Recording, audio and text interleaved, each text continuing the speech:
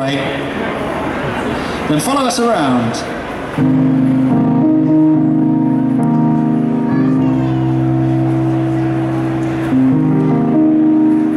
Okay. Everyone is running scared, all terrified and unprepared for where we are and what we have in store. Sounds like it's down an octave.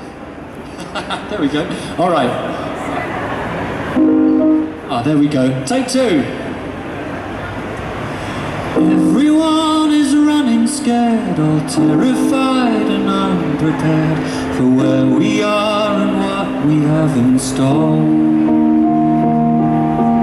You can turn your head away, or you can turn to God and pray. But either way, the writing's on the wall.